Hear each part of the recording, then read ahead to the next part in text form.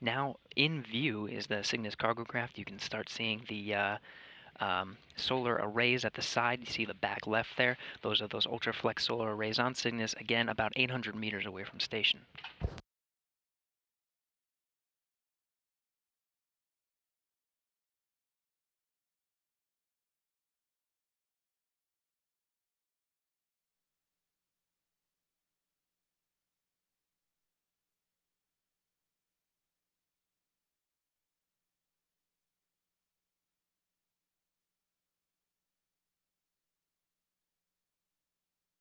Less than five meters away from the holding point, uh, actually closer to about 34 um, meters away from the International Space Station. Rate is uh, is slowing down just a bit now, about 0.04 meters per second, closing in on that 30 meter holding point. From then, again, ground teams will assess whether or not to uh, move towards that captured position. So, Paolo Nespoli aboard the International Space Station, now working with Randy Bresnik, can uh, use the station's robotic arm to capture the Cygnus cargo vehicle.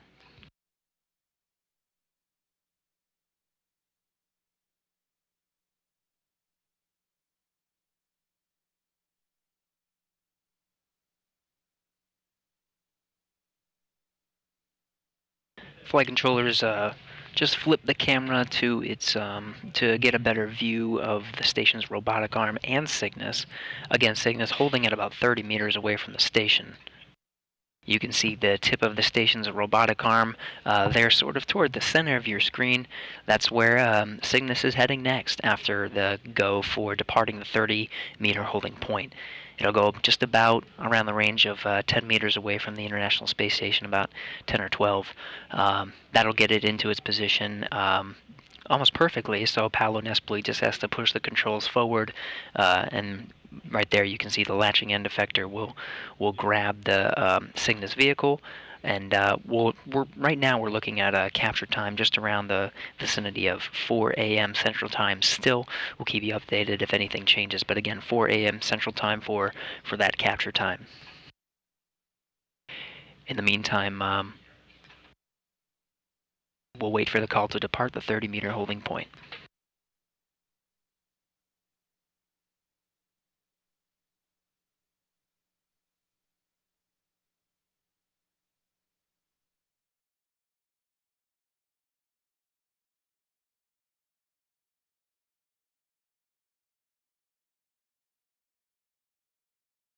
Now passing uh, 13 meters away from the station, about 12.5 now. You can see the uh, west coast of South Africa, International Space Station, 257 statute miles above the Earth. Cygnus cargo vehicle just over 12 meters away from that. Station just about to pass over Cape Town, South Africa.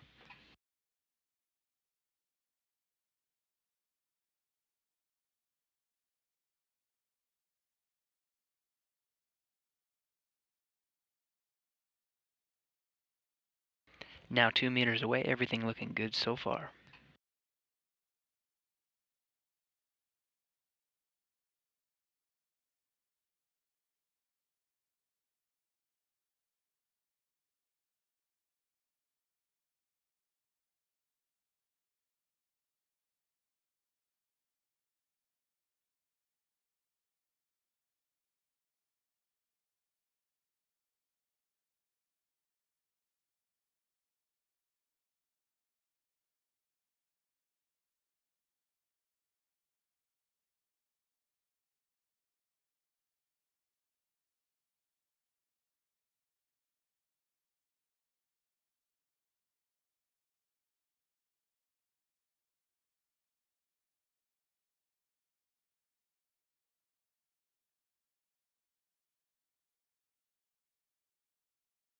Now over the pin. In the capture envelope.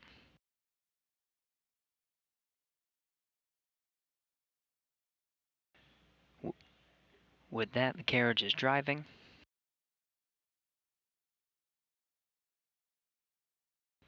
And driving the final commands to capture the Cygnus vehicle 404 a.m. Central Time today over the southeastern Indian Ocean, just southwest of Australia.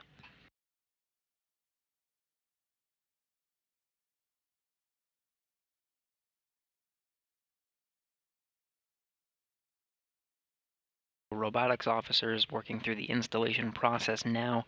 Uh, right now, at the end of the station's robotic arm, is the Cygnus vehicle moving towards the nadir port, the Earth facing port of the Unity module, where it will stay uh, for the next few weeks up until early December.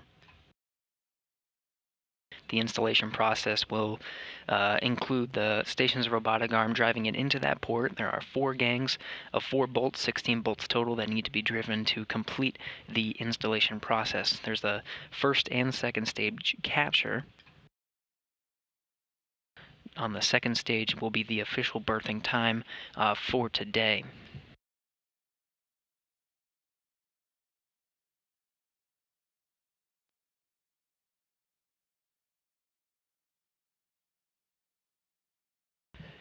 If you look close, closely, you can see the Cygnus cargo vehicle slowly moving right in front of the uh, common berthing mechanism that you can see uh, right there in the middle of your screen.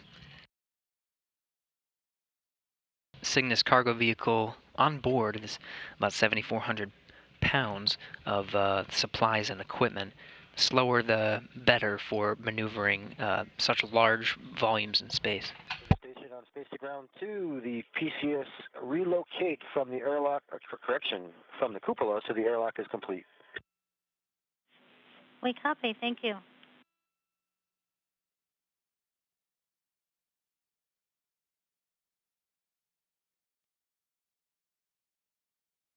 So it may look like the uh, Cygnus cargo vehicle is just um, sort of hanging out there, but uh, there's a lot of going on on the back end. Right now, the robotics officers are in, um, moving on forward to the uh, ready to latch indicators.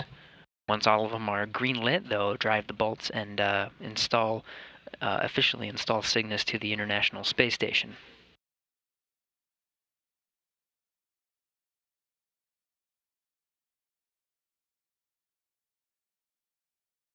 So with the flight director confirmation, um, all 16 bolts have been successfully driven, and second stage capture of uh, an installation of the Cygnus cargo vehicle to the International Space Station has been complete.